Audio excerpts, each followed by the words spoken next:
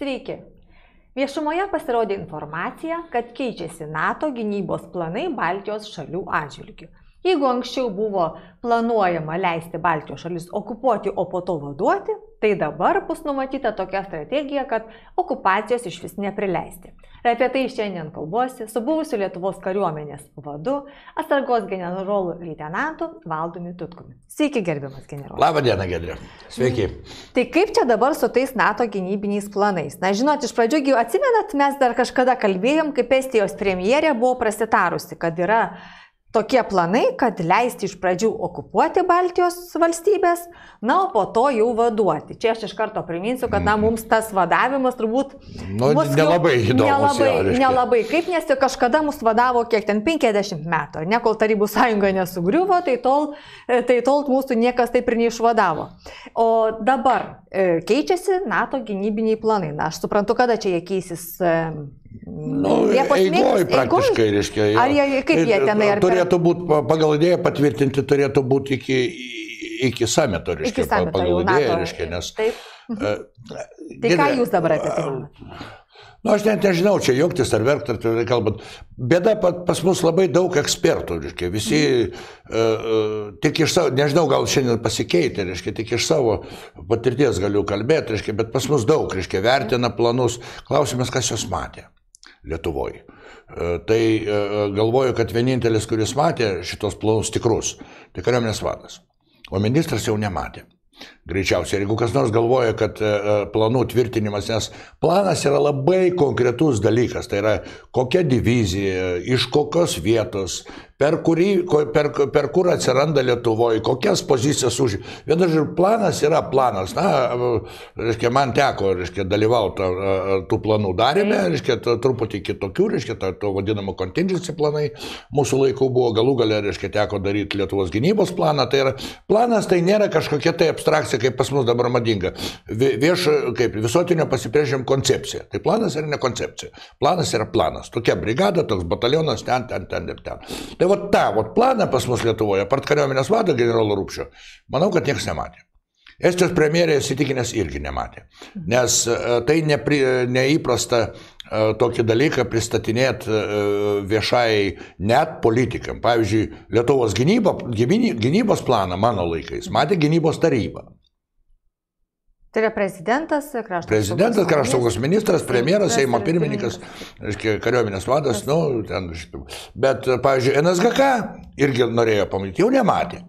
Tai, nu, supraskim, kad tai ir tai nėra kažkoks įsiterbinėjimas. Planas yra toks dalykas, kad kuo mažiau, reiškia, apie jį bus žinoma, tuo bus geriau. Reiškia. Ir e, man truputį keista, Bet mes tada nuo planų paskui Taip, gal prieikim prie, prie tikrų dalykų, reiškia, nes uh, pas mus daug ekspertų, reiškia, Ukrainos ekspertai, Kinijos ekspertai, Rusijos, kur nepažvelgsi vieni, NATO ekspertai, reiškia, apie planus pakalbėti, reiškia, paprastai tie, kur nematė. Manęs prašė pakomentuoti planą, nu kaip aš jį galiu pakomentuoti, jeigu, uh, jeigu aš jo nematęs. Ir vienintelis, ką aš ko- pakomentuoti galiu, kad aš klausiau per žinių radiją, uh, generolas Trupšys labai aiškiai pasakė, kad planas tenkina Lietuvą. Reiškia, aš tikiu kariuomenės vadu, reiškia, jisai tenkina. Jeigu jį tenkina, mane, patikėkit, tuo labiau tenkina. Reiškia. Bet esmė tame reiškia, kad politiniam lygiui yra, sakysim, gal, nu, sakykim, gairės, principai pristatomi, bet tikrai ne planas.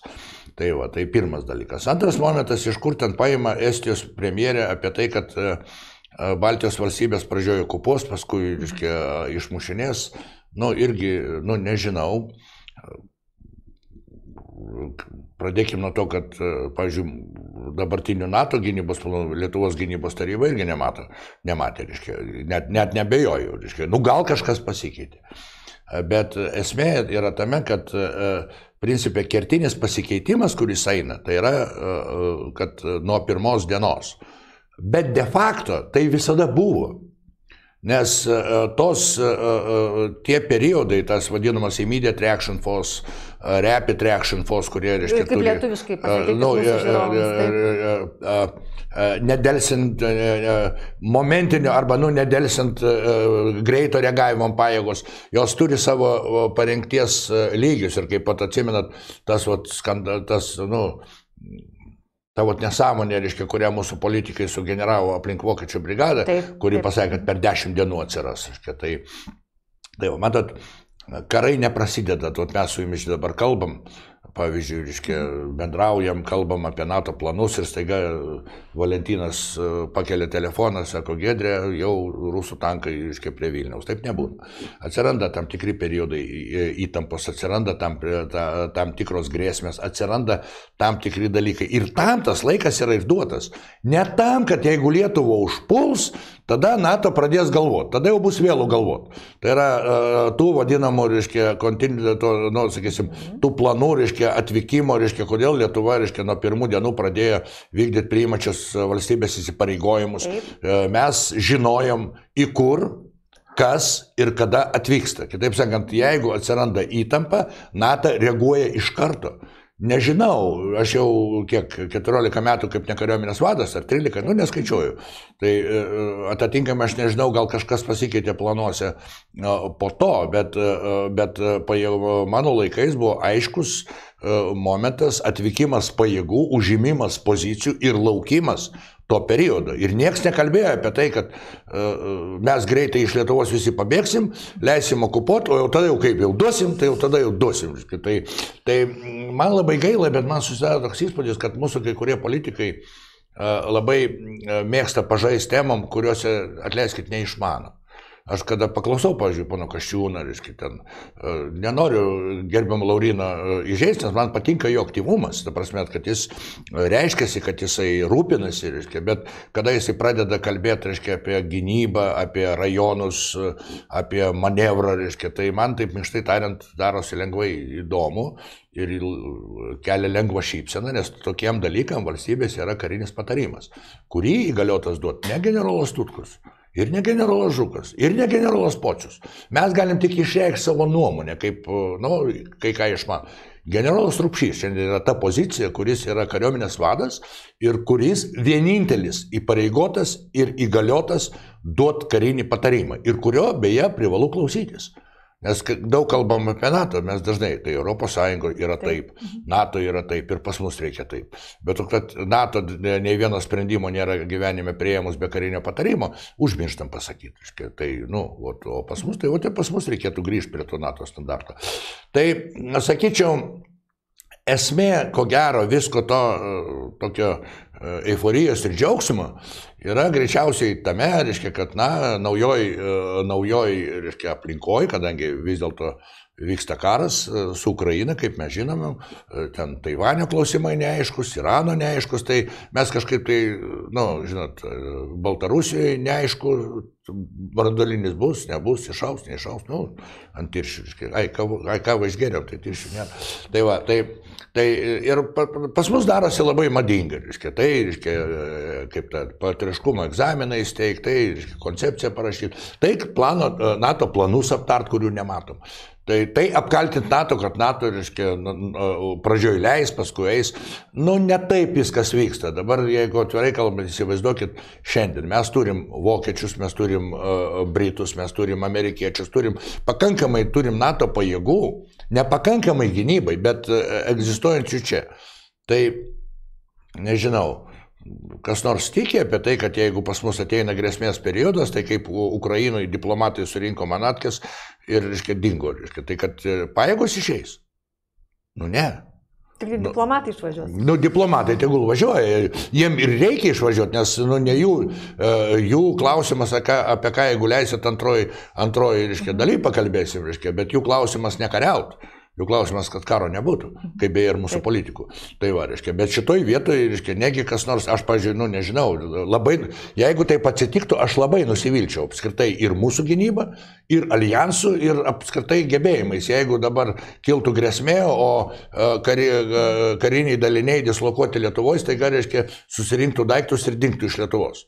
Nu tai, tai atsakykit man, tai ta, ta gynyba esant reikalui, ar ką, jie stebės, kaip rusas eina? Vėl su, kaip ten, su vėliavom pasitiks, su tam trikalorais, ar kaip, nu, kaip, kaip, kaip jūs matot šiandien uh, šitų NATO dalinių uh, veiksmus? Nu tai jie kausis. Jie kausis, jeigu atsiras būtinybė, bus e, ta pati brigada per dešimt dienų. Tai ir patikėkit, ne tik brigada, nes yra paskirtas ir operacijos vadas. Tik tiek, kad galbūt kiekvienas darykim savo darbą. Reiškia, tai yra politikai tegul galvoja apie NATO samitą, tegul galvoja, kaip reikia padaryti, kad, reiškia, nu, kad sekantį kartą prezidentas uh, sausakimšai prikimštam parlamente kalbėtų. Reiškia, Europos parlamente. Europos parlamente. Žmonės netilptų atėję pasiklausyti. Reiškia, kad, reiškia, nu, pagalvokime apie tai reiškia, pagalvokim, kad e, premjerė nesityčiotų iš parlamento, kad galų galę parlamento nariai, reiškia, ten tą, kas tarp kojų, reiškia, sutvirtintų, reiškia, kad, o tai dabar matot, reiškia, e, leis premjerė, nuims ministrą, neleis, nenuims, reiškia, ten dabar, e, kaip paklausyti, reiškia, taigi, netuose laukuose gyvena ūkininkai ir ūkio ministras, laukai skirtingi. Tai klausimas, kieno teisingas ūkis. Dimensijos, bet, jo, dimensijos skirtingos. Jo, bet mes gal čia ne apie tai. Dabar ne tai, apie tai. Jo, bet tai, tai prie NATO grįžtant, reiškia, tai šitoj situacijoje be abejonės tai, kad reiškia, jau bus politiškai pasakyta, kad nuo pirmos dienos, bet principė de facto ir buvo nuo pirmos dienos. Todėl, kad e, buvo tie planai, reiškia, dar, dar nuo pačių pirmų, nuo 94 metų, kada tapau kariuomenės vadu, atsirado pirmieji, generolas Žimas Džonsas kvietė tris kariuomenės vadus, e, dem, rodė aiškiai, reiškia, tuos, reiškia, atvykimo punktus, susirinkimo punktus, reiškia, buvo paskirti vadai, viskas buvo padaryta. O tas laikas yra tame, kad tiesiog, nu, bet kurio leitenanto paaiškinkite, paklauskite, jis jums paaiškins, atsiranda įtampos periodas ir, ir tuo periodu atoveiksmis yra. Kitaip sakant, jeigu jūs pradedate telkti, reiškia, iš vienos pusės pajėgas, reiškia, e, kita pusė pradeda telkti pajėgas iš kitos pusės. Yra toks manevras demonstracija, vadinasi, vieni kitiem demonstruoja. Vieni demonstruoja, kad galim užpult, kiti demonstruoja, kad galim, reiškia, apsiginti. E, vieni, reiškia, anonsuoja tą ofensyvą arba polimą, O kiti sako, pulkit, atsiginsim čia apie Ukrainą. O dabar tie, kurie demonstruoja polimą, sako, kad, kad busim pasiruošę, kada busim pasiruošę. Tai, nu, čia irgi yra tam tikri kariniai žaidimai. Tame tarpe, reiškia, ir kas liečia Baltijos valstybės, tas yra. Taip, kad principė reikia pasidžiaugti, kad vyks Vilnius samitas, tas yra, galvoju, labai svarbu. Nežinau, ant kiek mūsų valstybė sugebės pasinaudoti. Nes sunku bus, reiškia, mesgi taip prezidentą apdirbam, tai reiškia, saugumo departamentą apdirbam, tai dar kažką, tai reiškia, kažkuo tai apipilam, reiškia, tai, tai demonstruojam savo e, karingumą kitų valstybių atžvilgių ir dar kažką, tai, nu ir klausimas, ant kiek ten mums pasiseks išnaudoti tą, bet aš tikiuosi, kad išnaudot. Bet kokio tai, tai labai teigiamas momentas. Antras momentas, kad politiškai bus pasakyta tiem ekspertam, kad nusiraminkit, ginsimės, tai irgi labai svarbu, reiškia, o de facto tai matomai naujų planų atsiradimas, nes planavimas, gynybos planavimas yra gyvas procesas. Jeigu kas nors galvoja, kad 92 metais padarėm gynybos planą ir šiandien yra 2023 to, toks pats, tai turbūt ne, reiškia, nes jis kasmet yra, atsiranda nauji pajėgumai, atsiranda nauji, jis yra gyvas, e, gyvas e, elementas, gyvas organizmas ir jis pastoviai yra atnaujinamas. Tame tarpe ir NATO planai. Tai aš dabar negaliu pasakyti, kokie yra šiandien. Pavyzdžiui, kaip, mhm. nu, nepykit, užims Kaliningradą NATO ar ne, aš nežinau. Tai, bet tą nebejotinai žino tas, kam priklauso žinoti. Tai mhm. tas yra aišku sveikintina, bet kažkokia tai, nepykit, revoliucijos šiandien neįvyko, nes, nes patys atsakykim savo į klausimą. Negi galvojat, kad šiandien kol nepatvirtinta koncepcija, čia pas mus Lietuvoje koncepcijos vis. Tokia koncepcija, tokia koncepcija, reiškia. O, o, o ten kariškiai paprastai daro darbą. Tai patys atsakykit, nepatvirtinta koncepcija, tai kaip Lietuvos žmonės mano, kad tie daliniai, kurie šiandien yra uh, kitų NATO valstybių Lietuvos teritorijoje, bėgs grėsmės atžvilgių, ar padės mums gintis, ar pakvies savo pastiprinimą. Tai aš manau, kad vis dėlto ginsis kartu su, manim, su mumis. Reiškia, de facto, nu, kaip buvo, taip ir yra. Nu, nežinau, gal aš čia nežinau, kaip aš čia paaiškinau, gerai, blogai, reiškia, bet e, aš taip manau ir, ir aišku, savaime apie pačius planus galim tik tai spėti, bet yra Lietuvoje, kas žino. E, gerbiamas generolė, žiūrėkit, tai sakot, įtampos periodas būna. Visada žinau. Visą laiką būna įtampos periodas, bet jeigu atsiranda įtampos periodas, tai ar nereikia tą įtampą mažinti? Va, čia kaip tik antra dalis. A, aš norėčiau va, pakalbėti apie tai, kad mes kalbam gintis, gintis, kaip gintis, kaip čia mūsų NATO gins, kaip mes ginsimės, ko mums reikia. Bet ar mes turime planą, ką mums padaryti ir kaip daryti, kad mums to neprireiktų, kad mes, na, mes, e, kaip sakoma, žinot, jeigu nori, kad e, tavęs, tavo būto ar namo niekas neapvoktų, tu įsirengi signalizaciją, ar ne? Tai čia ta, tu... Ir durys geras. Ir ger, geras duris.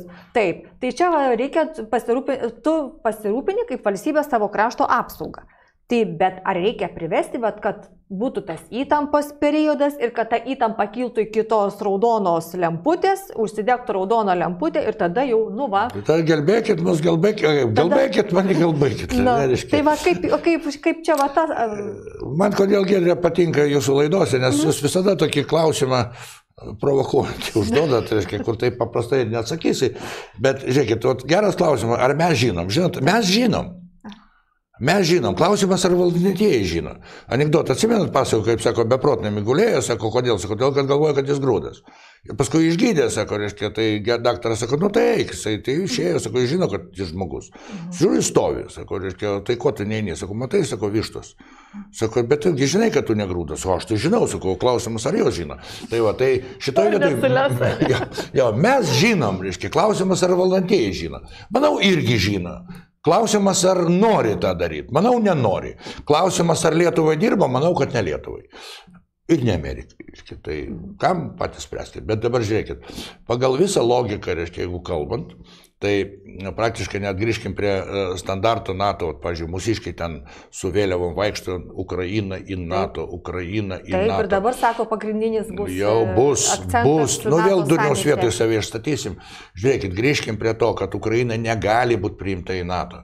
Ne todėl, kad Tutkus daleiskim nemyli Ukrainą. Šiaip noriu primint, kad mano amžinatis žmona ukrainietė, reiškia, ir pas mane ten giminių yra. Ir aš aišku pergyvenu ir mano draugai kariauja, reiškia, Ukrainos pusėje. Bet yra realios.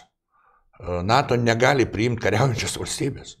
Tai ką jūs galvojat, kad, reiškia, 30 jau dabar dvi valstybės, nu, 31 valstybė jau tikrai, reiškia, pakels rankas, kad mes norim savo vaikus į karą, tai pas mus gal mūsų valdantieji ir nori mūsų vaikus į karą. Nu ką aš matau, tai pastoviai nori, tai, tai jam, reiškia, kopą pasiūs, tai naikintuvus pasiūs, ne mūsų tiesa, tai išminuotojus pasiūs, tai jau užgarantuot, kad į Taivanį pasiūsim, reiškia, iš šiaurės ašigalį dar galima irgi pasiūs. Tai gal mūsiškiai ir nori, bet, reiškia, problema tame, kad kitose NATO valstybėse mąstantys žmonės sėdi. Ir jie supranta, kad Ukrainos prieimimas į NATO reiškia vienareikšmiai karštą karą tarp NATO ir Rusijos. Tarp dviejų rimtų brandolinių e, nu, valstybės ir alijansų.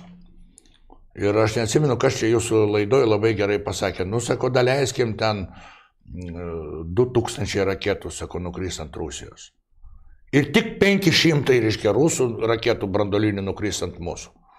Tai kam čia geriau bus? Visi puikiai suvokia tie, kurie masto, kad brandolinis karas yra žemės pabaiga. Tas akopalika, apokalipsė. Apokalipsė, reiškia, kad viskas nebus nei lietuvių, nei judaodžių, nei raudonodžių, nei indienų, nieko neliks. Reiškia, nes tas vienareikšmiai veda į sunaikinimą. Ir atitinkamai žmonės, kurie dėl to ir yra tų mygtukų spaudimo sakysim, ap, apribojimai. Nėra to žmogaus pasaulyje, kuris vienas paspaus ir skris. Net Rusijoje nėra tokio žmogaus. Aš jau nekalbu apie demokratinį pasaulį.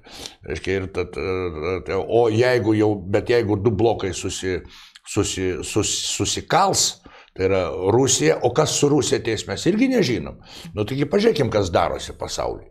Tai kiek valstybių remia, reiškia, vakarų pasaulį, iš kitos pusės padėkim, kiek žmonių remia arba vienaip ar kitaip palaiko Rusiją. Tai žmonių klausimų mes matyt e, nelabai gerai atrodysim, reiškia, valstybių, taip, bet viena Kinė, reiškia, kiek būtų. Mhm. Dabar žiūrėkite, Kinė, vienas po kito, reiškia. Vienas po kito. Vienas po kito, dabar geriau jau Italija važiuoja. Taip. Atvažiavo, reiškia, Ursula, reiškia, ir ką? Paleido per bendrą terminalą, nes parodė, parodė Kinė Europą jos vietą. O mes, o mūsų turbūt Urmas galvoja, kad nuvažiavo, e, reiškia, Kinė, e, Europos Sąjungos, e, reiškia, vadovybė su, su Makronu, kad dabar italai kalbėtų apie, kaip Kinai Lietuvą engia. Manau, kad ne. Ėjo kalbė, kalba, eina ir tas Lietuvos po, požiūris, e, Kinijos, matyt, e, padėjo savo, reiškia, savo dalį reiškia, ant, ant šito klausimo. Tai irgi, reiškia, yra, yra tokie momentai. O dabar žiūrėkit, Kinijos ambasadorius e, Prancūzijai. Prancūzijai teškia, tai teškia, tai teškia. Nu, aišku, mūsų Gabrielius, reiškia, pasakė, kad tai nepriimtina. Nu, ir kinai iš karto išsigando. Jie galvoja, Jėzus Lietuvai nepriimtina. Ajai, kas čia, ką, ką dabar daryti? O Italijos premjerė važiuoja, o ambasadorius, kai buvo Prancūzijoje, Paryžiui, taip ir sėdė. Taip ir, taip ir viskas tvarkoja. Taip kad, nu, nesvaikim, reiškia, čia yra bėda, kame mūsų valstybės valdančiųjų, tikrai ne valstybės kada mes labai norim žemės bamba būti. Aš vat, pastoviai klausau žinių radiją ir vat, klausau, mes norim pasiekti statusą labiausiai Ukrainai padedančios valstybės. Vat, labiausiai reikia, vat, labiausiai reikia. Nu, jie turbūt atsidėkos, todėl pas mus pusė Lietuvos ukrainiečiai, kurie lietuviškai nekalba. Ir tu sugalvogi, reiškia, ten, ar manai, jeigu neklystu, pasakė, neatsimenu kas, nenoriu gerbiamas užšinės įžeis, galbūt ne jį, bet, ta prasme, pareikalauti iš ukrainiečių, kad jie, reiškia, kaip ta, mokytųsi lietuvių kalbą, tas pats, kas save į rusų vietą pastatyti. Klausykit, ką, jau visai svaikstat, ne? Tai tada pareikalaukim iš uh, tų, kuriems šiandien 20-30, kad jie mokytųsi rusų kalbą. Tai žiūrėkit, 20-25 metų jaunimas, jie nemoka rusų kalbos. Mm. Tai tada dabar apskritai norim uždrausti rusų kalbą. Tai irgi brėdas, atleiskit. Reiškia, kodėl aš turiu klausyti kažkokią tai, nežinau, kokią kalbą man mokytis kaip antrą. Rusų, kiniečių, italų, ispanų ir taip toliau. Prie ko čia kalba ir Rusijos agresija? Nu, ne prie ko. Bet kaip matom iš jaunimo, jie ir taip renkasi ne rusų kalbą. Prancūzų, ispanų, anglų ir taip toliau, ir taip toliau. Bet galimybę turi pasilikti. Ir dabar, reiškia, kaip mes turim bausti savo jaunimą, todėl kad matai, matai vargšai ukrainiečiai pas mus gyvena. Ir jiem nevalia jų versti lietuvių kalbą mokytis. Nu galbūt nepainėkim, tie Seime vėliava Ukrainos. Reiškia, ką mes rodom su Ukraina? Ar, atsiprašau, lindimą kažkur tai, reiškia, kažkam tai be vazelino. Ar mes norim pagalbą? Tai, vat, pažiūrėjau, mūsų kariai, jie tikra, aš, vat, mūsų baikerių klube yra, reiškia, ka, ka, karininkų ir seržantų, kurie realiai padeda Ukrainai, kurie realiai instruktoriais dirba, kurie realiai ruošia jų karius, kurie realiai motivuoja, reiškia, Ukrainą. Ir tai yra reali pagalba. Nu, tie patys radarai galų galę ten, galima taip ir taip, aš taip nebejoju, kad ten nubyra, bet, nu, gal ir nenubyra, kas ten žino, reiškia, ten, nuo to, to Bairakstaro, reiškia, kaip ten baigėsi. Nežinau, reiškia, negaliu, negaliu galiu teikti, bet bet kokiu atveju tai buvo kažkokia tai pagalba, ką tu padėjai. O, o, o su to, kad e, pas mus gyvena, kiek aš, jeigu neklystu, 400 tūkstančių šiandien skaičiai kažkur tai na ukrainiečiai, kurie net neplanuoja mokytis lietuviškai, o mes sakom, kad ir nereikia, tai reiškia, mes turim prisitaikyti prie jų. Tai palaukit, tai mes karžės patpolitui gyvenam, reiškia, Lietuvos, Lenkijos, uh, Ukrainos, ar, ar mes vis dėlto esame Lietuva. Tai, tai va šituose klausimuose yra klausimas. Ir tai va, kada į klausimą ilgokai atsakinėjo, bet kada klausėt, ar žinom, ką daryti, tai mes žinom. Klausimas, ar, jie, ar, ar, ar žino ir nori on tie, kurie daro. Nes pirmoji eilė, reiškia, mes vis dėlto turim galvoti apie Lietuvą, apie tai, kad esam lietuviai. Aš kodėl turiu teisę kalbėti, nes aš penkis metus pradirbau fiziškai NATO kariniam komitete ir Europos Sąjungos komitete. Ir aš žinau, tai yra nespėjau. Vat kaip mūsų ekspertai, mhm. kurie paklausai ten kokio, jisai Taip mano, bet jis nežino, o aš skirtingai, nu, žinau, nes aš ten sėdėjau ir, reiškia, dirbau ir kaip, nu, jau niekamgi nepaslapti šiandien nepasigirsiu, kad, kad būtent mane pasiūlė kariuomenės vadai NATO karinio komiteto pirmininką. Tik tai, e, tai reiškia, matyt, aš ne, ne šiaip sau ten sėdėjau, matyt, kažką tai dar veikiau, jeigu, reiškia, staiga nutarė, reiškia, kad aš ten tikčiau. Nu, Lietuvai nereikėjo. Dabar bet Amerikai ten, tiko, Britanijai. Ir Amerikai, tiko, Britanijai, visiems tiko. Nu, nu, bet mes ne apie tai kalbam. Aš to norėjau pasakyti, kad aš netaip ne šiaip savo sėdėjau, o mes ten dirbom, reiškia, ir darėm, ir aš žinau, kaip ten daroma. Ir kad valstybė nepriklauso nuo dydžio, turi savo poziciją toj valstybei. Tai taip yra. Ir ES, ir alijansė. Ir niekas ten rankų neišsukinėja.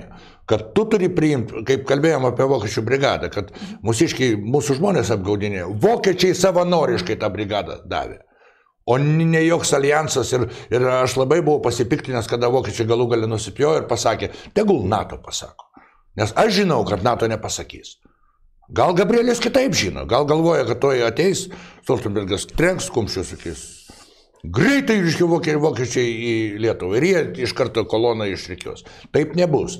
Tai šitoj vietoj aš kai buvau pronatietiškas, taip ir lieku. Kai buvau pro už Europos Sąjungą, taip ir lieku. Ir aš e, labai atsiprašau tų, kurie kitaip galvoja. Nu, tai jūsų teisė ten.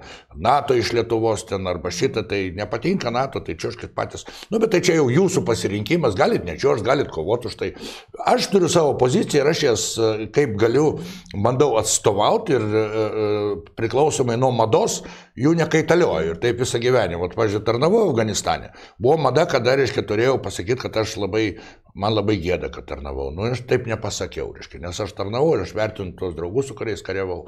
Tarnavau tarybų, tarybiniai kariuomeniai, reiškia, todėl, kad, nu, buvo tas laikas, aš ten tarnavau. Ir nuo to, kad madinga kalbėti vienai per kitaip, aš taip nekalbu.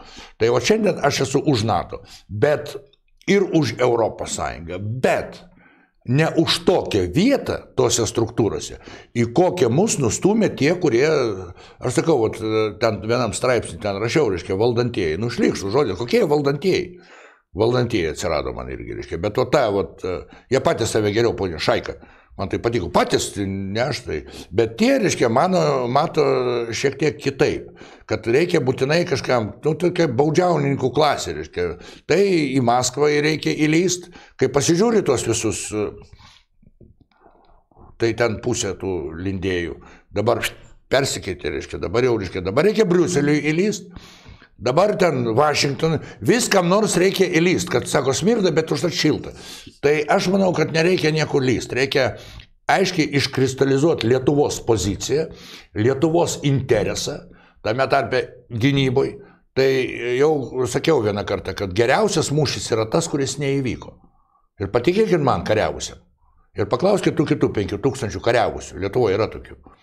Tai jie jums pasakys, kad geriausias mūšis yra tas, kur neįvyko. Pas mūsų aitvarus paklauskit, kurie irgi ne visai, nu, taikos misija, bet tokia labai, labai, labai taikos, reiškia, tai, žinot, reiškia, užduotis kitos. Pas juos paklauskit, ar gera yra kariauti. Tai jums kiekvienas kariavęs pasakys, kad daug, apsaugok viešpatį mano žemę ir mano giminės nuo karo. Tai šitoj vietoj matomai, reikia. Nu, nepeikit, labai nepatriotiškai pasakysiu. Reiškia, mes pradžioj apdergiam tą visą, reiškia, Baltarusijos nu, tą visą, reiškia, nu, tą, tą, tą, ką mano įsitikinimu Putinas suorganizavo. O paskui stebėmės, kad Lukašenka mums atsiuntė uh, tuos pabėgėlius. A ko mes laukiam? Kad jis galvos, kad šiltas lietus lyja, kad nebus reakcijos, reiškia. Mes uždarom, reiškia, ka, kalio trašas per Lietuvą, prarandam milijardus, nu, šimtus milijonų tai tikrai, reiškia, paskui stebėmės, kad plukdo per Rusiją. Ir kad kitos Europos valstybės perka. O tu žiūrėk, kokie, vat, vat, tokia nesąmoninga ta Europa, reiškia, perka Baltarusijos trašas, reiškia, pinigai eina ir Baltarusijos režimui, kuris yra okupacinis, ir Rusijos režimui. Tik tai Lietuva tarp šitų, nesakysiu tarp ko. Reiškia, mes su Kinė, man labai patiko, reiškia, gerbiamas uh, uh, Sigitas Besigirskas pas jūs, jeigu neklystu, ar gal ne pas jūs kalbėjo, tai jis sulygino, kiek Tik tai kiek milijardų praradom ir kiek milijonų uždirbom. O aš kada pasakau, kada Angonių kaime, reiškia, su baikerės buvom apklausiau žmonės ir paklausiau, kas tas Taivanas ir tai, tai niekas nežino. Tai mums labai svarbu. Reiškia. Tai kitaip sakant, e, tie veiksmai, kurie e, daromi šiandien, vietoj to, reiškia, kad nustot tą rusofobiją Lietuvoje, sakysim, aitrinti. Neužmirškim, kad tarp mūsų yra virš 8 procentų rusų tautybės piliečių. Bet jie mūsų piliečiai. Tai dabar jau juos, reiškia, kai kurie atsiranda ten tokie didėjai, e, beje, vat, kai, kai kurios ponės, reiškia, tokios ypatingai aršios, tai komjaunimo sekretorės didžiosios buvo. Tai aš suprantu, kad mes visi dauguma buvo mūsų karto žmonės e, komjaunuoliai, todėl kad e, be komjaunimo tai ir bilietus, e, atsiprašau, net dokumentų institutus neprinėjo. Bet jau kad sekretorium būtų reikia pasistengti. Mhm. O dabar, reiškia, ot, ot, ot, rusai penkta kolona, afganai mūsų, tie, kurie, tiem, kuriem aš priklausau, reiškia, kurie stovėjo, reiškia, sausio mėnesį, reiškia, gynė parlamentą, kurie gynė, kurios pats Vytautas Landsbergis kvietė ateiti su savo patirtim ir žiniom, reiškia, šiandien irgi kažkas tai atsiranda ten kolona, reiškia. Tai patys, kas jūs tokie, reiškia, jeigu žinot, tai paėmus. Tai šitoj vietoje, o jums viena, reiškia, kryptis, reiškia, tai yra nacionalinis šitas. Dabar, sakysim, kai kurie, na, kultūriniai, vertybiniai klausimai, reiškia, irgi, reiškia. Nu, kam juos, reiškia, eskaluoti, reiškia, nu, yra. Ypatingai tokį įtampų momentą. Jo, tokios, toks tai... periodas yra įdomus, reiškia, kam reikalingi ten kažkokia tai, reiškia, eskalacija. Dabar ką vien reiškia, o jūs atsakykit man ir galit kritikuoti dėl Dievo meilės, aš beje nebijau tos kritikos, reiškia, atsakykit man, kaip turi jaustis tautos dalis, kurią viešai pavadina vatnikais arba kremliniais. Nu kaip jaustis? Kaip jaustis tiem žmonėm, kurie gina savo vertybės arba bent jau kalba apie jas. Ir todėl, kad jos kalba, jie pasirodo provincialai, vatnikai, ten kažkokie tai, reiškia, vėl jums prašau, reiškia, skaldimas. Jeigu, reiškia, pas mus dabar, reiškia, grįžkim prie mokesčių reformos, reiškia, trumpam, aš nekomentuosiu, nes kaip Valius Ažalas kaip pakomentavo, tai nei pridėsi, nei atimsi, bet negi sunku suprast, kad visos trys rūšys yra labai svarbios, nes smulkus ir vidutinis verslas ir save išlaiko, ir savo šeimą, ir jokių dotacijų neprašo. Tik duokit dirbti, o stambusis vertas tiem, kurie net neužsimėja, duoda e, darbo vietas ir kad viskas yra, turi subalansuota, nereikia. E, aš e, gal pacituosiu Valio Ažalą, kada jisai tokį didį ekonomistą, ekspertą pacitavo, kuris pasakė, vis dėlto reforma nepakankamai gera, todėl kad smulkus ir vidutinis dar išgyvens. Tai čia ne mano žodžiai, čia mhm. gerbiamo Seimo nario. Tai palaukit, tai ką, tai čia mūsų, reiškia, apie valstybę galvojam. Tai va, tokie klausimai. Tai dabar tas CO2 mokestis, tai, nu, bet ne apie tai. Taip, dabar mes. Jo, taip, bet tai va, dėl gynybos. Taip. Tai šitoj vietoj, kaip tik nuo ko jūs gedrė ir pasakėt, kad, reiškia, įtampos periodai diplomatai trauksis. Tai jie trauksis tikrai. Bet reikalas tame, kad diplomatų Ir mūsų politikų užduotis pradinė yra iki tos įtampos nedavest. Kad mes turim suprast tas ribas, e, kurių peržengti nevalia. E, negi jūs galvojate to, kad mes išprovokuosim, daleiskim, e, kokią nors karinį veiksmą prieš Lietuvą, mes padėsim Ukrainai. Nu, nesvaikit, klausykit. Tai šitoj vietoje reikia galvoti pirmoje apie savo valstybę Tam jie yra išrinkti. Reikia galvoti apie mūsų žmonės ir saugumą. E, tam ir yra paskirti ministrai, Seimo nariai ir visi diplomatai ir taip toliau. Ir paskutiniai vietoj galvoti, kaip ginsimės. Nes patikėkit, yra žmonių, kurie apie tai galvoja. Nuo pirmos savo, o yra tokia profesija, sako, gint savo tevinę, vadinasi, karininkas seržantas, karys. Tai yra žmonės, kurie atėjo tam, kad kurie galvoja, kaip ginti. Bet nei vienas iš jų nenori, kad tektų patikrinti gyvybei, kaip, tas, kaip ta gynyba veikia. Taip kad, va, aš nežinau, aš čia e, labai sumbūriškai, bet aš visada kitoks, žinau, kaip čiukščias, sako, ką matau, tai ir dainuoju. O matau dabar nelabai gerai. Tai mes irgi, va, matom, to kol kas visi požymiai rodo, kad, na, einama, sakykime, tuo keliu, kuriuo kažkada pradėjo eiti Ukraina. Aš turiu omeny, kad e, tie įstatymai ir tas, e, tos jau prasidėjo, ką, mes matome rusų kalbos tenai, kada išimti į vietoj mokyklose e, rusų kalbą, įvesti lenkų kalbą. Toliau, pažiūrėjau, labai neramina iš tiesų Lenkija. Tai ne Lenkija, atsiprašau, bet Latvija. Mes visą laiką kalbam, kad mes esam tarp Baltarusijos, ar ne? Ir Kaliningrado sritis ir Rusijos. Na nu, taip. Bet Lietuvai reikia įvertinti dar ir Latviją. Aišku, reikia. Ir Lenkiją. E, mes matom Lenkiją, Lenkijos ir Ukrainos e, tam tikrus e, galimas kalbamas, kur kalba apie visokias ten sąjungos ar ne, planuoja ir taip toliau, nežinom, kas ten karinių prasme gali būti. Toliau Latvija. Latvija eina vėl to pačiu keliu, keldama įtampą. Ten kiek yra 50 procentų rusakalbių. Taip, apie. Dabar, apie. dabar nežinau, bet nepriklausomės nu, pradžioje buvo, buvo 50, nu, sakykime, netgi daugiau. Mažiau, bet ir dabar įsivaizduokit, jiem po metų reikės laikyti egzaminus e, Latvijų kalbos. Tai kaip jūs įsivaizduojat, jeigu Latvijoje užsikurs toksai žydinys ir jeigu, pavyzdžiui, Rusija eis į Latviją gelbėti savo rusakalbių piliečių, Na, tiesiog tai aš noriu... Ar neužsuks tai čia, ne? Tai, tai suprantat, vat, aš ir sakau, kad mes kalbam apie Baltarusiją ir Kaliningrado sritį, Bet mums tada reikia aplinkui viską žiūrėti. Ne, tai, Ką, ką matot, Lenkija ir Latvija, tai gal tada reikėtų ne įtampą didinti. nu, mažinti, tai E, Toj viso, aš suprantu, kad Rusija užpuolė Ukrainą, me- e, lėjasi kraujas, e, žu- žūva Ukra- gyventojai ir civiliai, ir, ir vaikai, ir, ir moteris, ir kiek kareivių žūsta. Mes tą suprantam, bet ar dėl to dabar reikia e, pas save sukurti tokį precedentą, įkaitinti, kaip aš sakiau, iki raudono mygtuko? ne, tai aš jau Ar tą... nereikia bendrai Baltijos šalim apie tai kalbėti, užuot kėlus tą Tai, e, Gedrė, Ar mes taip pat keršysim Rusijai už tą Ukrainą, patys pas save Mes iki raudonumo įkaitinę? Savo atkeršysim. Nu, pradėkime nuo to, kad vis tiek, va, tam, pavyzdžiui, e, man labai patinka Britų, jeigu aš neklystu, ar tik ne Čerčilis yra pasakęs, bet bijau, nu, aš taip, o tai paskui pasakai, ką nors ir paskui gaunasi, kad ne į tą pusę, nu būna. Bet, uh, bet iš principo, reiškia, anglosaksinė politika irgi labai aiškiai ir beje, uh, gerbiamas Mikalauskas apie tai lab, labai taikliai yra pasakęs, kad nėra politikui nei draugų, nei priešų. Yra amžini mūsų interesai. Mūsų, ne ukrainiečių. Mūsų, ne Taivano. Mūsų, ne Baltarusijos opozicijos, Cikhanovskajos KGB pristatytos mums, o mūsų, Lietuvos. Mano, jūsų, Valentino, kitų, reiškia, mamos, mano vaikų, anūkų ir taip toliau. Yra mūsų interesai. Ir e, atitinkamai už juos reikia kovoti, neperžengiant tam tikrų padarumo ribų. Tai dabar palaukit, vat, e, grįžkim tą vat, klausimą su uh, apribojimais tiem pabėgėliam, reiškia Baltarusijos, Rusijos, reiškia Rusijos apribot, Baltarusijos neapribot. Mažiau apriboti? Mažiau, bet palauk, palauk, aš čia nelabai pagaunu, reiškia, tai Baltarusija agresorius ar ne? Agresorius. Tai gal jie ne agresorius?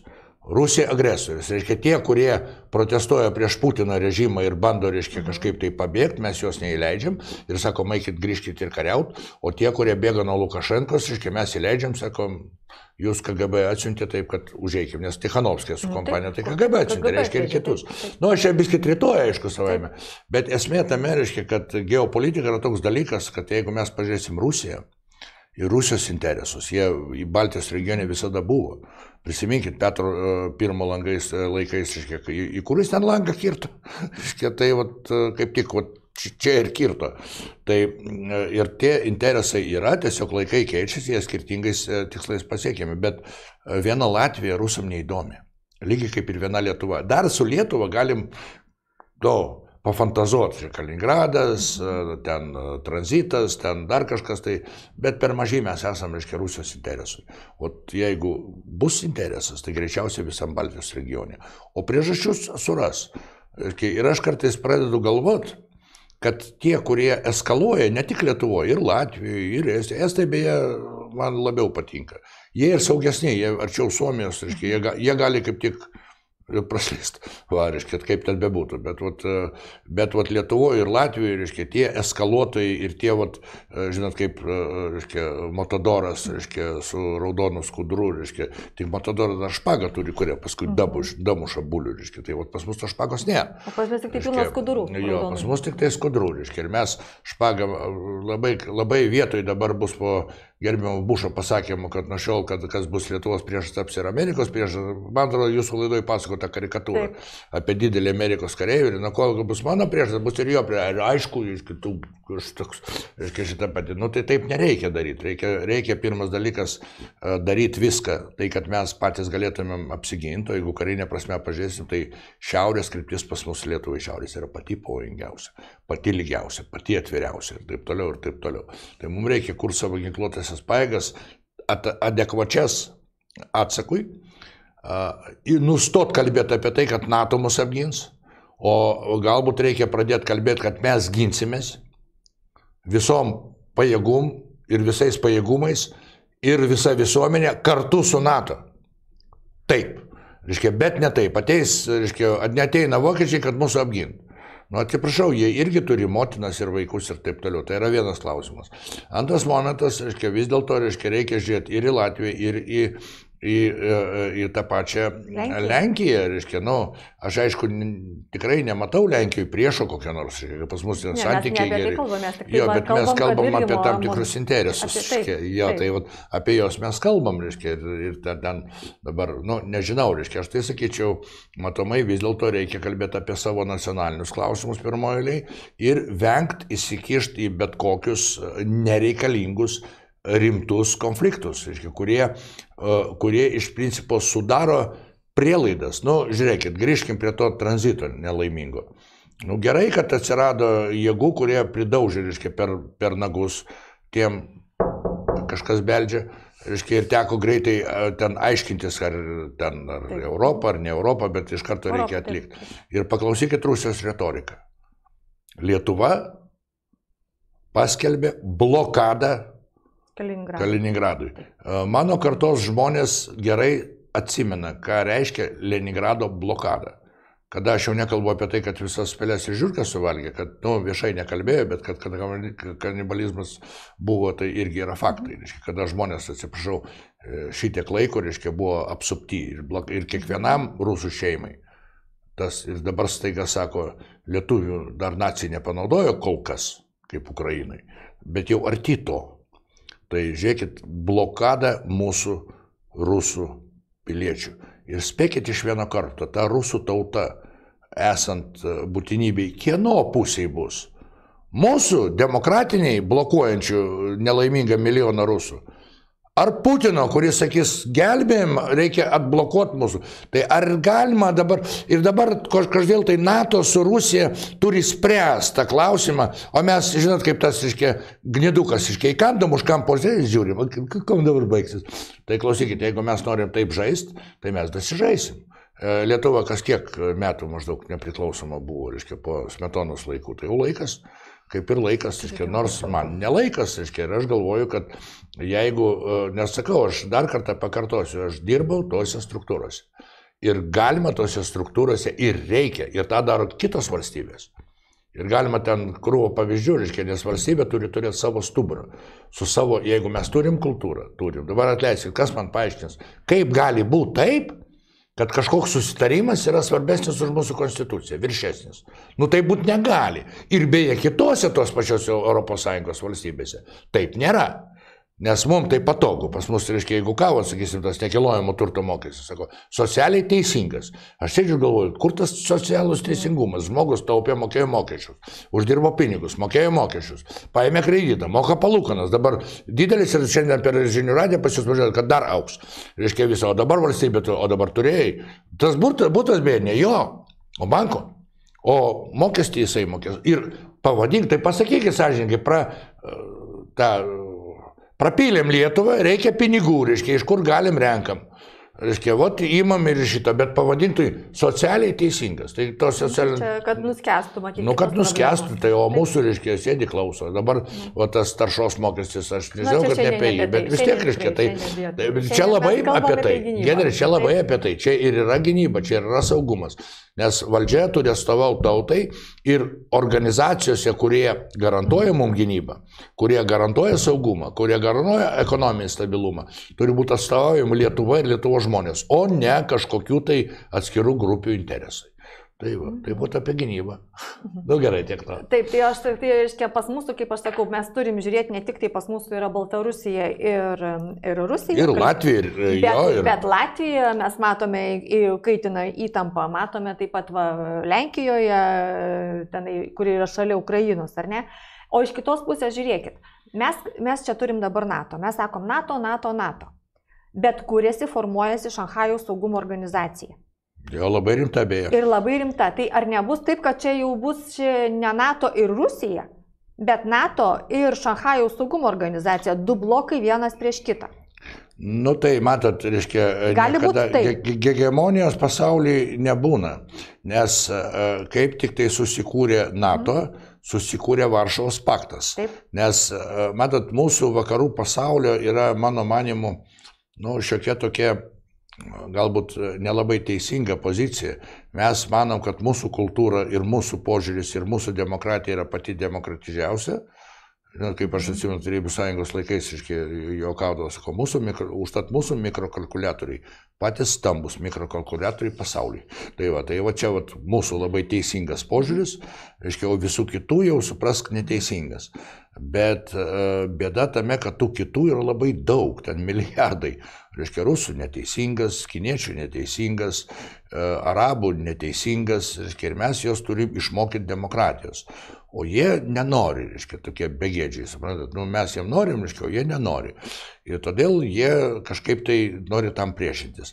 Ir yra logiška, po to, kada subirėjo Varšuvos paktas, kada alijansas užėmė vedančią ir vienintelę pasaulyje poziciją, kuris gali ir pademonstravo tą ne kartą, Aš nesakau, kad visur buvo teisingai. Kai kurios klausimus aš pats savo negaliu atsakyti, atvirai kalbant, demokratiškai. Tiesiog, reiškia, kaip aš minėjau, reiškia, kad mano požiūriu mes kaip valstybė turėjome išsirinkti pusę. Mes esam šitoj pusėje. Todėl gal ne su visko galim sutikti, bet mes esam šitoj pusėje.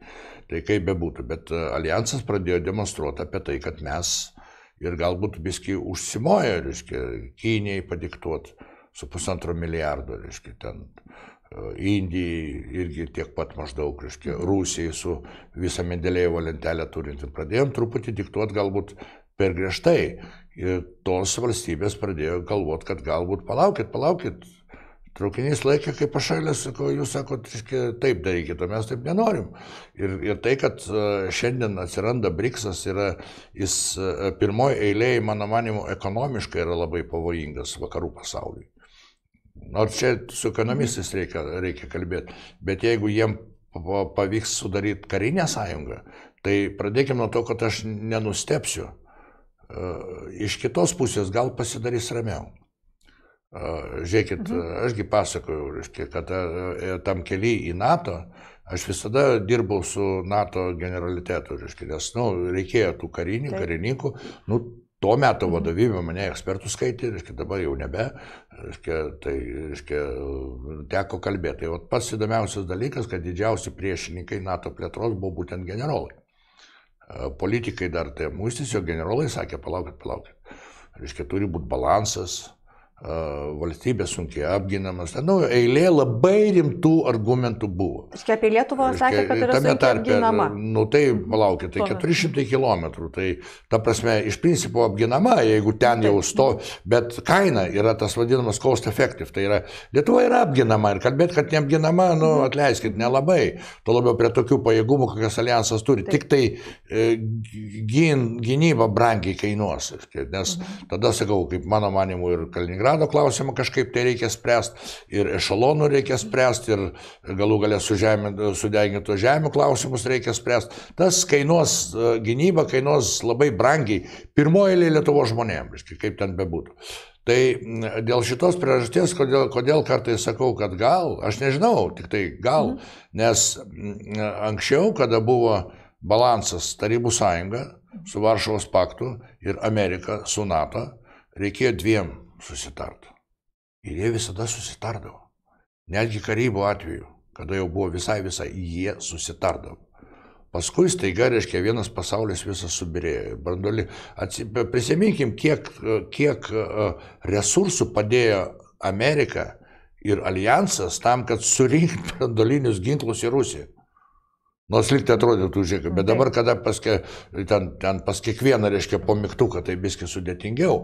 Nu ir dabar galbūt tada, reiškia, ateis, reiškia, laikas, e, matomai, man labai net nesinorėtų, kada, reiškia, ten kaip tam anegdotė, sako, reiškia, žinot, sako, ten tipo, o paskui jau per vestuvės, kada, reiškia, darykim tą, darykim tą, daryk, o, sakau, jūs jaunasis patilėkit, mes to viską aptarsim, paskui jau jum duosim žodį pasakyti, reiškia, tai gal ir čia, reiškia, ateis tas laikas, kada, reiškia, mes iššoksim ir pasakysim, kad mes ten Taivaną norim apginti, o gal kas nors pasakys, kad jūs paskui jau jums žodį duosim. Tai nesinorėtų, kad šiandien, kol mes turim galimybę pasakyti ir padaryti, atstovauti mūsų žmonių interesus nepriklausomai. Tai tą reikia daryti. Bet e, tai, kad anas pasaulis nelauks ir kad jie jiem jau nusibodo, Ašgi ne jokom palyginau, o, o, o Indijoje kaip Vokietijos uh, užsienio reikalų ministras, ministras apskritai niekas nepasitiko, kiek girdėjau. Reiškia, atskrido ir atskrido. Reiškia, pas mus uh, Indijoje. A, Indijoje irgi. Indijoje, reiškia, ten irgi toks, reiškia, kažkur internete skaičiau, kad atskrydo ir, ir labas, ir niekas nepasitinka. Dabar, reiškia, von der Leyen pasitikimas Kinijoje irgi parodė, kad uh, tas drakonas jau pasakė gal gana. Ir tikėtis, kad jie toliau kalbės, ir, ir tikėtis, kaip mūsų, reiškia, o, žinot, aš ne ekonomistas, man kodėl patinka labai gerbo Miklausko klausyti, nes jisai labai, labai argumentuotai viską sudėlioja, reiškia, bet žiūrėkit, kiek kartų teko girdėti, kad mes nebijom Kinijos, nes Kinija priklauso prekyboje su Amerika ir su Europa. Galima klausimą, o Europa su Amerika nepriklauso nuo prekybos Kinijai? O kas bus, jeigu Kinija užsuks čiaupus? Juk Rusija tai neužsuko naftos čiaupų. O kas bus, jeigu užsuks iki galo naftos ir dujų čiaupus? Juk dujos ir nafta kaip ėjo į Europą, taip ir eina. Ir nesvaikim, kad jos ateina iš dangaus. Iškia, darys iš Amerikos, darys į dar kažkur tai. Bet eina. Tai ta prasme, tas pasaulis yra labai pavojingas mums. Ir dėl to NATO mums labai svarbus. Bet uh, erzint, uh, vat, kaip jūs ir pasakėt, ir Latvijos variantas, ir mūsų kaimynai, ir geopolitinė, aiškia, ir noras vat, išsišokti ten, mes labiausiai Ukrainai padedam, mes stipriausiai meškai, aiškia, užpakalį įspėdėm, mes drakonui liežuvį nukirpsim, mes, mes, mes, o kaip sako, o aš tai, vat, aiškia, vat, rusų kalboje, kada yra tas ja, sako, kada sako, aiškia, nu tai sako, tai paskutinė raidė abecėlė, aiškia, šiaip jau. Tai, tas aš esu, kada tu esi be resursų, tai nereikia to daryti. Reikia užsiimti poziciją, kuri atitinka tavo pajėgumus ir kuri atitinka Lietuvos žmonių interesus.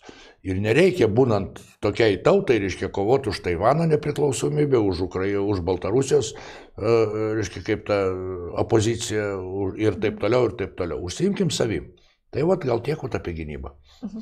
Tai tada, e, baigiantis laidai, noriu jūsų dabar paklausti, tai kas čia turėtų tuos, e, na, sakykime, tas karštas galvas Lietuvos, e, Latvijos, aš nežinau, to po šaltų dušų pa, pakišti? Kas, kas bendrai, ar čia, čia mūsiškiai e, nori parodyti, kad va, mes čia taip atkeršysim, nebijom Rusijos, mes čia... Nes už mūsų stovi. Taip, čia už mūsų stovi, va, tas va, didelis, va, tenai, tas iš Amerikos, mes čia nieko nebijom. E, ar vis tik tai čia kažkoks yra provokacinis ir apgalvotas variantas? Kaip, e, kaip jūs sakėt, jeigu tai buvo jau na, naudinga, kaip mes jau, jau nekartą kalbėjom, pavyzdžiui, tas e, Baltarusijos klausimas, ar ne, su Cichanovskaja, buvo naudingas būtent Rusijai. Tai kad daugiau niekas nelaimėjo iš to, taip, iš to konflikto. Taip, iš to konflikto laimėjo Rusija. Tai ar dabar va šitas įtampos kėlimas, ne va tai žiūrint į Ameriką, ne va tai. Ar ne? Tai jau būtent, kad ne va tai. Ne va tai žiūrint į Ameriką, čia e, keliant įtampą, ar vėlgi nebus taip, kad e, kaip su Baltarusijos klausimu, kad tai bus naudinga Rusijai. Taip vienareikšmiai, Gedrė, apie tai galim net, ta prasme, žiūrėkit, kaip man atrodo, reiškia, aš vis dėlto atsakau už savo žodžius, reiškia, e, kad daugiau nėra kam naudinga. Vėl grįžkim tą Baltarusijos variantą, prasukim Baltarusiją, Baltijos valstybės numeris 2. Reiškia, tai e, ar Europai yra naudinga, reiškia, va tokia Lietuvos ir Latvijos pozicija? Nenaudinga. Ar Amerikai yra naudinga? Jūsgi neužmirškit, kad e, tas skleidimas, kad čia už visko stovi Amerika, pasakyti, jie kursto antiamerikietiškas. Taip, būtent šitie e, valdantieji kursto antiamerikietiškas nuotaikas Lietuvos visuomenėje. Taip, ir gaunasi, taip, nu, taip. man skaudžiausia, kaip su to mokesčiu socialiai teisingu, kad mane durnium skaito, reiškia. Mhm. Jie sako, mes už vertybės Taivano ne už Lietuvos. Ir dabar jeigu ir, kas... Ir iš Baltarusijos opozicijos. Jo, ir jeigu kas nedaug dėvė pasakys, kad ne tos vertybės, tai jau kremlinis. Taip. O kam, sakykit, yra naudinga šiandien, o turi, juk, žiūrėkit, Putinas jau perspėjo apie tai, kad nustokit rusofobinės uh, nuotaikas kelt uh, jum, ir jum nieks negrės. Mhm negrėsa, ne? Tai viskas liktai tvarkoja. Liktai normalus žmogus ir pagalvotų, palauk, nu gerai, reiškia, mes turim, reiškia, didesnį brolį, su kuriuo kartu kausimės reiškia, jeigu reikės, bet geriau būtų nesikaut, ar mum tas tie 8 procentai mūsų piliečių maišo, ne, nemaišo, man pažinė maišo, labai daug draugų tarp jų turiu ir taip toliau, reiškia, ir tada galbūt ar labai maišo, kad jeigu, reiškia, pavyzdžiui, mano nukas nutars mokytis rusų kalbą, paskaityti, pavyzdžiui, Čechovo, Puškiną, Tolstojų, reiškia, aš nežinau, tie draudėjai ar skaitė juos, reiškia. Ypatingai jau, uždraustoji knyga. Jo, dabar. jeigu, reiškia, Hitleris jau degino, reiškia, savo laiką, laikų klasikus, tai, reiškia, visą kitą, ar tai, ar tai yra, reiškia, kam naudinga? Tai dabar pamatysim, kad tas naudinga Rusijai. Nu, nepykit, klausykit, Rusijai. Kodėl? Todėl, kad jinai turi pretekstą. Jinai sako, žiūrėkit, kokie mes geri. Nu mes norim susitar dėl taikos. Nu mesgi jums sakom, jums nieko negresia. Nu ką jie sako, tai dar ne, nereiškia, kad taip ir bus, iškia, bet, bet paprastai ką agresyvaus pasako, tai taip ir būna. Jeigu pažiūrėsim Putino retoriką, tai va ta agresyvioji dalis tai jinai įsipildo, reiškia, o ta geroji, tai ne visada, reiškia, bet kaip bebūtų, reiškia, ir dabar, reiškia, mes sėdim ir kurstom, mes, reiškia, uždraudžiam rusų kalbą, mes, reiškia, savo piliečius, kurie su mumis stovėjo sausio mėnesį, gynė parlamentą, pavadinam penktą koloną.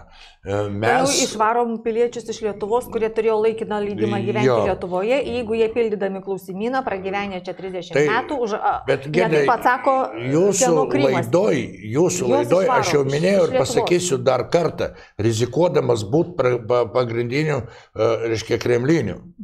E, taigi jūs, kurie formavot klausimą, jūs tikrai savo protė. Tai kieno Krymas?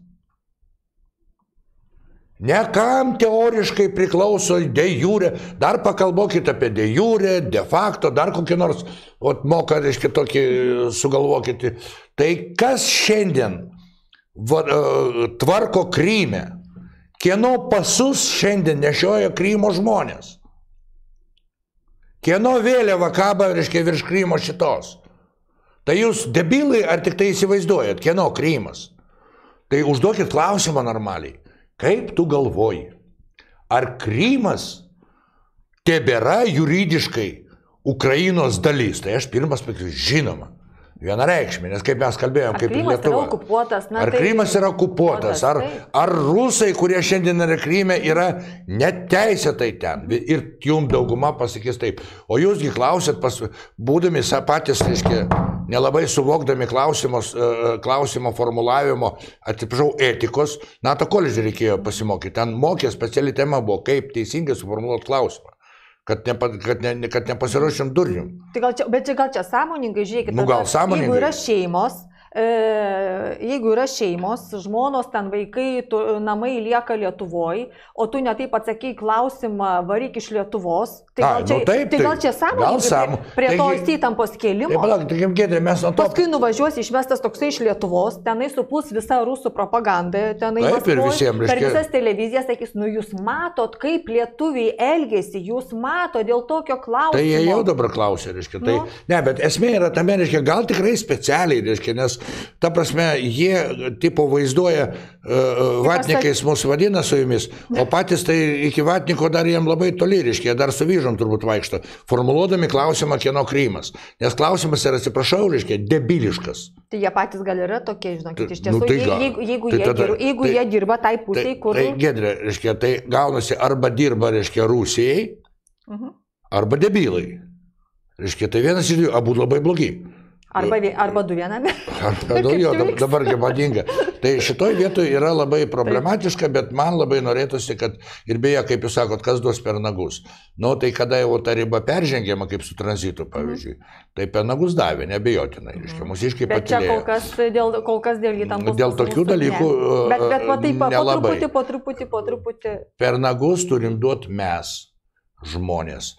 Tie 50 procentų, kurie, reiškia, sėdi, kuriems viskas gerai. Mm Nes dabar aš stebiu, pavyzdžiui, atsiprašau, nudalyvau nesėkmingai Vilniaus merų rinkimuose. Nu, neišrinko, neišrinko, problemos tame nematau. Bet man kas keista, kad dabar, reiškia, dabar, kada žiūriu žiniasklaidą, tą Benkunską vargšą, reiškia, daužo ir daužo, daužo ir daužo ir tas negerai. Ir toliau gatvės siaurins ir ten, reiškia, ten paaiškėjo, kad ten žmona ten dirbo ir ten ir ten vienu žodžiu, nu, daug aiškėjo, aiškėjo, aiškėjo. Aš klausiu, palauk, palauk, palauk, per balsavimą kur buvot? Dabar pamatėm. Namie sėdėjau. Nu, matyt, dabar pamatėm. Ne, reklamą. Tai duos per nagus gedrė žmonės, kada prie to pribręs. Kada pribręs, aš nežinau, aš jau gal jau visai reiškia būsiu senas, gal mano anūkai pribręs, bet kada ateis lais, ta tikra laisva tauta, laisva visuomenė, kurie uh, norės uh, gyventi Lietuvoje o ne kaip dabar kur nors. Tai va tie ir duos per nagus. Ir paskutinis klausimas šioje laidoje. Generolė, kur tik tai nuvažiuoju, žmonės klausia, ar bus karas. E, ar karas jau sako, vyksta? Nu, karas vyksta taip, bet ar Lietuvoje, nu aš sakau, bent jau iki NATO šitą viršūnių susitikimo, ne, tai čia, čia ne. toks rodiklis, kad čia tikrai dabar saugu. Žiūrėkit, E, karas šiaip savo nevyksta, pradėkime nuo to. Kaip jūs sakėte, reikia stebėti jo, įtampą. Reikia stebėti įtampą, įtampą. reikia stebėti, stebėti interesus, reiškia, reikia žiūrėti pajėgumus, nes taip nebūna, kad, reiškia, sėdi, sėdi ir sakau, gal, gal už... Ir jau važiuoja, ne? Jo, reiškia, nu, anksčiau sakė, kad visi karai dėl moterų, nu, iš, iš principo tai ne visai taip, yra ir naftos klausimai, ir teritorijų, yra geopolitiniai interesai. Karas tas... Na, karas, moteriškos giminės. Jo, jo, karas taip vyksta, bet jeigu, reiškia, tai leisit pajokauti, Tai jeigu šiandien, reiškia, Kremliui atstovaujantį vadovybę sėdi Vilniaus, reiškia, sprendimų prieimime, kam su, jie, su jais kariauti? Jie ir taip yra, reiškia, dirba tą, tą ką daro, pažiūrėjau, mūsų vadovybė. Tai juk tam, kad tapt įtako zonui, visai nereikia čia rusų tankų. Yra kapitalas, yra tie vadinami įtakos agentai, plus yra tie vadinami, reiškia, kaip tie na, sakysim, patriotiškiai, durniai, kurios, reiškia, uždegi, mhm. reiškia, ir jisai, reiškia, kaip bulius, reiškia, ant šito eina. Tai visai nebūtina. Jeigu realiai aš kažkaip tai galvoju, kad tas tikrasis karštas karas, matomai, nelabai naudingas kam nors. Tuo labiau, kad vėlgi, reiškia, alijanso skeptikai, tai galvokit kaip norit, bet mes esam alijanso nariai ir toj pusiai, Briksė, puikiai supranta, kad jeigu žengs su tankais į Lietuvą, tai žengs ne į Lietuvą, o žengs į alijansą. Ir šitoj, va, tie, va, čia, čia galim, mes galim diskutuoti, nu, gins, negins. Rusijai gali ja. diskutuoti, gins, negins. Mhm. Bet visi žino, kad, kad gint gali yra labai didelis šansas. Ir ar nori to susidaudėjimo? Ne. Yra e, krūva kitų metodų ir aš, pažiūrėjau, Lietuvoje juos matau. E, aš juos matau ir nebereikalos skaitau, kad e, vis dėlto šitie, kurie dirba, reiškia, pagal rezultatus aš kol kas matau tik tai vieną, kam įdomu, kam, kas gauna naudą, yra tik tai viena pusė, kitų nematau. Tai vėlgi, jeigu šitos pozicijos pažiūrėti, tai kam kariauti? Reikia taip toliau, reiškia, kas nupirks geležinkelius. Na, galvojate, Amerika atvažiuos nupirks, ne? Kas uostą nupirks? Ten ir taip Baltarusių dalis yra, jeigu aš neklystu. Taip, kad, reiškia, sueis infrastruktūros pagrindiniai, strateginiai, reiškia, ir ot ir, ot ir tikiu. Ogi tos, sutikit, kad tos vis, tra, trans, reiškia, nacionalinės korporacijos, jos neturi tautybės. Ten ir rusas, ir žydas, ir vokietis, ir amerikietis, visi inkorporė. Jie turi kitą tautybę. Mhm. Taip kad, va, tai aš nemanau, Taip, kad, kad jeigu bus okupacija, tai bus metu. ekonominė okupacija. Nu, jinai jau vyksta pabiskį. Vyksta. Tik tai kol kas dar per tą dūmų uždangą, kur viešoje erdvėje mes to nematom, bet jaučiam. Kaip sakoma, nu, bet jaučiam. Bet jaučiam labai stipriai. Ką, ačiū Jums už pokalbį, generolė. Dėkui. Ačiū Jums, kad žiūrėjote. Ačiū tiems, kurie suprasdami objektyvios žiniasklaidos svarbą remėte mus Patreon platformoje, Contribui platformoje, kur priminsiu galima vienkartinė parama. Taip pat noriu priminti, kad sektumėte mūsų Telegram kanale, kad žinotumėte, kas kada vyksta mūsų komentaras TV kanale. Taigi dar kartą dėkui, kad žiūrėjote ir iki kito karto sudė.